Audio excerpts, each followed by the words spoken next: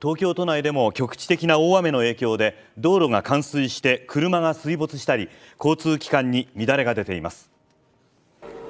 東京消防庁によりますと午後4時過ぎ渋谷区代々木の小田急線のガード下で道路が冠水してタクシーなど車3台が水没し一時車内に運転手らが取り残されました。東村山市でも冠水した道路で車が一時水没しました。他にも都内全域で冠水の被害があったものの怪我人はいませんでした。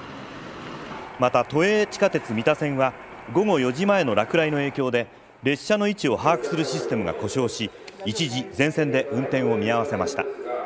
京王井の頭線も午後4時過ぎ明大前駅付近の線路が冠水し一時全線で運転を見合わせました。東京電力などによりますと東京都と埼玉県で雨の影響により最大およそ9400世帯が停電しました。